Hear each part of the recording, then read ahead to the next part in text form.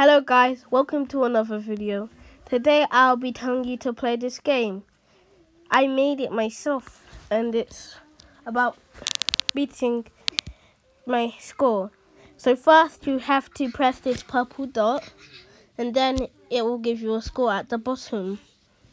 You can also comment on the scratch comments, an update or a bug fix. And also there will be a link in the description. And also, that's where you can play it. That's all for this video. Bye.